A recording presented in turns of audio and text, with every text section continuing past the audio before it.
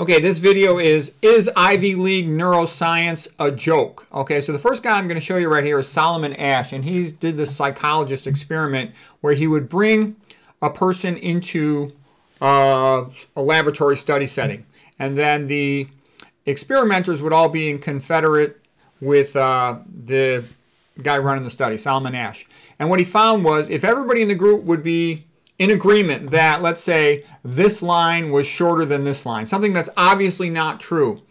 The psychological peer pressure of all the Confederates agreeing that this line was shorter than this line, or some other similar example of them all agreeing on something that was untrue, the majority of the study subjects would conform and say, oh, I guess you're right.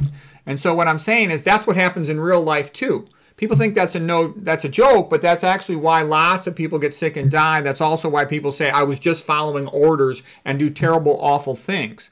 And so Solomon Asch here's a quote from him. The tendency to conformity in our society is so strong it is so strong that reasonably intelligent and well meaning young people are willing to say that white is black. This is a matter of concern. It raises questions about our ways of education and about the values that guide our conduct. And that's what I'm saying is if some Ivy League researcher says, "Oh, you know, you need to, you know, give this medicine that doesn't work at all to the patients." I guarantee you 99% of doctors will do it. Okay? Look what they do to children with attention deficit. Okay, and now I'm, we're talking about nutrition as we do routinely here.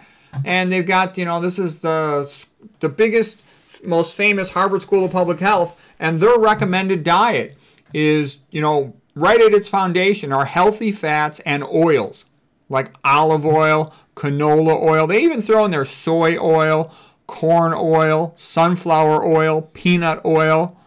I mean, that's the foundation of their diet. That's insane. That's insane. It's the opposite of the Esselstyn diet. Okay, then what else do they say? They recommend a daily multivitamin, which is a stupid thing to do. You know, you're going to be taking excessive amounts of things you probably don't want, perhaps iron, perhaps copper, perhaps the wrong form of vitamin E, and who knows what else is in there, titanium dioxide, nanoparticles.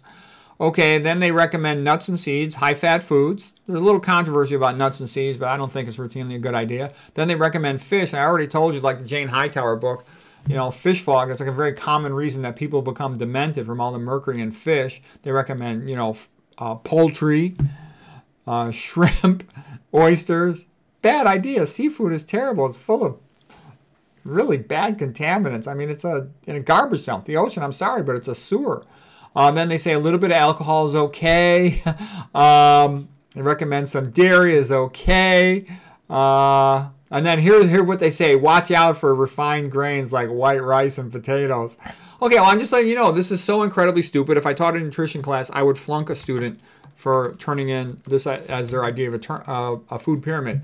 And so then, well, what does this mean in real life? In the pathology book, for example, autoimmune chapter, nothing on leaky gut, cardiovascular pathophysiology books from the, these are the Ivy League textbooks, okay, and these are even recent additions in the chapters on hypertension, they just say it's unknown. Nothing to do with the fact that, you know, high fat diets cause it in sodium and uric acid. Okay. And they don't go into the psychological stress stuff about it. Okay, and the coronary artery disease, atherosclerosis. No mention of the Esselstyn diet. No mention of the high fat diets being the main issue. Uh, no mention of high fat diets as the main cause of diabetes. Uh, what else? They then, on top of that, they claim that inflammation is a major contributor to atherosclerosis, even though Esselstyn didn't have to do anything about inflammation. Pathologists who look at it under a microscope say it's not due to inflammation. They'll promote that so they can sell another drug. First of all, they always have to say there's a problem, and their solution is to sell you another drug. Like I said, the child psychiatrists in the Ivy League schools, big time promoters of um, amphetamines, selling amphetamines to children, which would be illegal to sell on a street corner to an adult. They recommend you sell that to children in grade school for attention deficit. It's insane. Okay, and the big famous psychologist, Jordan Peterson, smart guy, he was an Ivy League uh, psychologist. He recommends carnivore diet for autoimmune disease and saying the opposite of what I would do. And he says that psychiatric drugs in general are good. Okay, go ahead, listen to him. Okay, these are the big, iconic Ivy League level psychiatrists, psychologists, neurologists, nutrition experts. This is the kind of stuff they're saying. Okay, and then I, am not going to go, I'm not going to say their names aloud, but you can look this stuff up real fast if you're curious. The famous adult psychiatrist, now we're talking about adults, they're recommending for treatment of brain diseases keto diet. And the keto diet can slow somebody's brain down, like in refractory epilepsy. And it might have, you know, a decent indication in refractory epilepsy whereby all those side effects would be worth accepting if it means an alternative, let's say brain surgery. But, you know, not for a regular person. There's another really famous adult psychiatrist out of the Ivy League also recommending the ketogenic diet for, you know, psychological psychiatric problems. Again, these will slow the brain down. My idea would be why not go through all the toxins that speed their brain up abnormally and the other psychological factors, lack of Christianity, atheism, all that stuff, and try to cure them without any drugs. Why not? Okay, uh, number three. Now there's another uh, famous Ivy League psychiatrist now who's saying, oh, you don't have to do the keto diet. You can do a high fat version of the Mediterranean diet. It's all completely stupid. They don't know what they're talking about. Uh, this one recommends lots of fish and olive oil and nuts, all the good fats, and alcohol. A little alcohol is okay. It's just completely stupid. And if you look at the famous traumatic brain injury experts from the Ivy League, they're recommending the Mediterranean diet. This is what I mean by like the Solomon Asch. They're all conforming to this Mediterranean, keto because they heard one of them say it and they assume the other one knows what they're talking about, or they're just lying. I mean, it's pathetic. You go to the big neurology textbooks, one of them is like about 1,700 pages. There'll be 1.5 paragraphs on excitotoxicity in the context of, of, of the immediate post stroke phase. It's ridiculous. That should be like a third of the book, okay? That's my theory is all about you know, an expanded version of understanding excitotoxicity, excitotoxicity and calcium metabolism because that's what's making everybody demented. Nothing, nothing in the entire book. That's why I'm telling you, a lot of these books that train the, not just the medical students, and not even just the resident, but are used to train the fellows, they're totally stupid. They're totally stupid. That's what I mean too for the patient. You're on your own, okay? These places, they either don't know what they're talking about or they don't care what they're talking about. As long as they make the drug company happy, they get big money, they get to write the standard of care, everybody has to follow it, and they're laughing all the way to the bank. Insurance company's happy, drug company's happy, the doctor at the Ivy League school getting promoted, getting famous is happy, but the patient gets screwed. Okay, that's what I'm trying to tell you. This healthcare system it is not designed for you patients. You're, you're just a low-life pros. They don't care about you. They'll drug you with the, the, the worst drugs, the worst side effects with no benefit.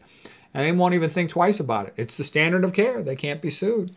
Why? Because some other Ivy League sold out to make a drug company happy and wrote the paper. Okay, and then uh, in a book from one of the Ivy Leagues recently about uh, multiple sclerosis and dementia and all this stuff. There's no mention of the nutrition doctors except for Swank. They have one paragraph on Swank, the great expert on multiple sclerosis, just to discredit him. Say, oh, you can't trust his diet, even though he has the best diets of anybody in the world on multiple sclerosis, including 34 years of follow-up. And then what I do too is I go to the I go to the back of the book and I look at the um, I always look at the index. That's how I can tell very quickly if a book is good. So here I am looking at a book on you know neurodegenerative disorders, including autoimmune diseases and multiple sclerosis. There's no mention of calcium. How could you talk about the brain when everything a brain cell does is based on calcium? And there's about 50 things that mess up calcium metabolism in the brain. That's how I know the book is fake. Any book that talks about brain physiology doesn't talk about calcium is fake. Okay, then you go to glutamate. Glutamate is 90% of the brain neurotransmitters. My uh, my webcam of got screwed up a little bit by this. 90% of the brain neurotransmitters are due to um, are due to glutamate. And there's nothing on glutamate. How could you write a book about the brain and not talk about glutamate? Then I go to excitotoxicity. Excitotoxicity should be the main topic in the entire book if you're going to talk about serious neuropath pathophysiology. There's no mention of glutamate. Okay. Then I said, well, what about mitochondria? We've got to talk about mitochondrial injury. You need to know Martin Pall theory. You need to know peroxynitrite theory. You need to know about all the mitochondrial inhibitors. The, the word mitochondria is not in the index. And this is a big book. It's about 300 something pages. Okay. Then what about the NACA exchanger? Nothing about the sodium calcium NACA exchanger. Nothing about SERCA inhibitors. That's what I'm trying to tell you. These books are meaningless. And why do books like this even exist? Because they've got to chump all the stupid pros so they can sell them drugs. Okay, so here's these guys pretending, yes, we're the Ivy League, we're the experts on neuroscience. Their books are stupider than the Sherzai book. Sherzai at least said a few useful things. This is irresponsible, it is incompetent, and it is dishonest. no mention of the most important basic things glutamate, calcium physiology, mitochondria, SERCA. I mean, how could you even talk about a neuron physiology if you don't talk about this basic stuff?